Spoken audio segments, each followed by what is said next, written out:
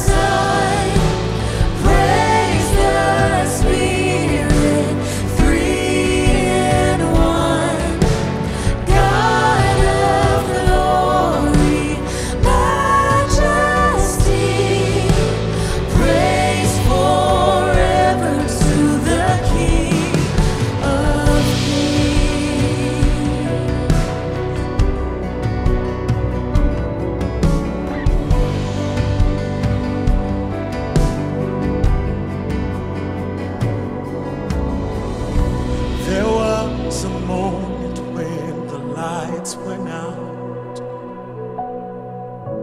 and death had claimed its victory. The King of love had given up his life. The darkest day in history. There on the cross they made for sinners. For every curse his blood atoned. One final breath and it was finished. But not the end we could have known. There was nothing more to know. In that moment, our beloved was dead. Pulled from the pedestal they placed him upon, that rugged cross made for wicked men, our Jesus. Ripped from the wreckage and wrapped in linen, locked where the light wouldn't shine, women weeping at the tomb, alive. How could he ever be? Not after what had been done, yes, how could we have known? Messiah made a man of sorrows, yet when the suffering servant spoke his last, the earth quaked.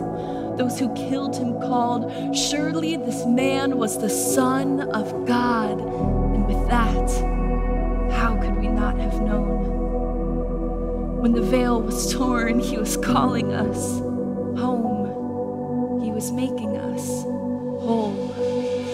How could we have known what would happen next? Except that on every account where he predicted his death, he always spoke of the coming hope. Every mention of his deliverance to the hands of men, accompanied by a promise to deliver us into the arms of heaven. His body beaten by the hands of sinners to make us children grafted to the Father's fingers. How could they have known? While they sat in agony, they had a blessed assurance. And by this, Jesus appeared to Mary, and by her testimony, many knew. As they rushed to see the empty tomb, yet others placed fingers in his flesh to be sure. How then did they know? The disciples saw, so they believed. But our faith comes by hearing. Now we believe, and by this we know, and by him live.